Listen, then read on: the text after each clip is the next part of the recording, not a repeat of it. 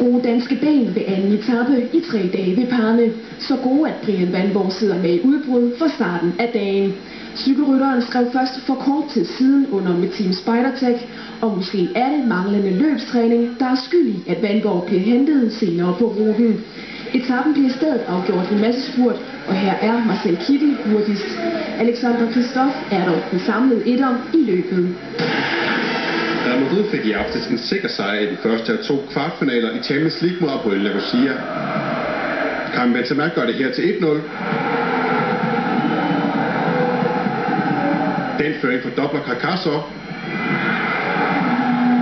Inden Benzema igen.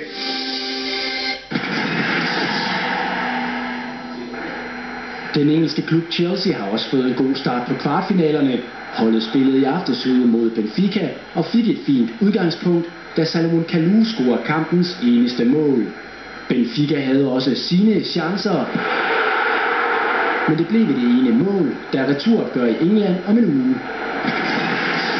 Altså en ud, vi havde det, jeg kan lige sige, at Real Madrid vandt øh, 3-0 i deres øh, kvartfinale mod Abuel Nicosia fra Kypern. Det var det, vi ikke helt så billeder af.